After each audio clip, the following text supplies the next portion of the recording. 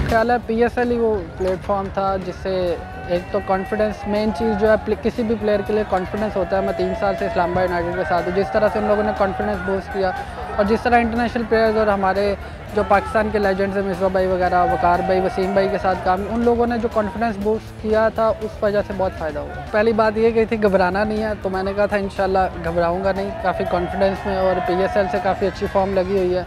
और मैं यही सोच रहा था कि जब पाकिस्तान टीम में भी आना है तो नॉर्मल जैसे मैं नॉर्मल क्रिकेट खेलता हूँ या क्लब में खेलता हूँ या पीएसएल में जैसे खेला हूँ मैंने, उसी तरह खेला यहाँ पे हम डोमेस्टिक के मैचेस भी खेलते रहते हैं तो काफ़ी आइडिया है यहाँ का, हवा चलती है और पिच का भी आइडिया है, लेकिन कई दफ़ा मुश्किल हो जाता है अगर पिच पे बॉल ग्रिप कर रहा हो, लेकिन